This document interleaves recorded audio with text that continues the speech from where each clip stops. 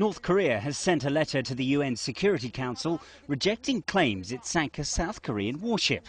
Pyongyang has also warned the body not to debate the issue, a process that could lead to further sanctions against the regime.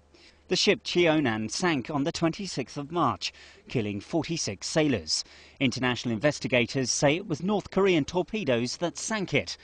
Last week, the South Korean government formally referred the issue to the Security Council.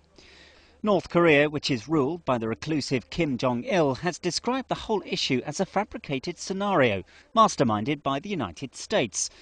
It's uncertain whether South Korea is seeking additional sanctions in the UN against its communist neighbour. UN sanctions are already in place in the wake of its two nuclear tests in 2006 and 2009.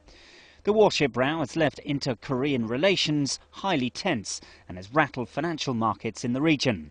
Seoul has suspended trade and Pyongyang responded by cutting all ties.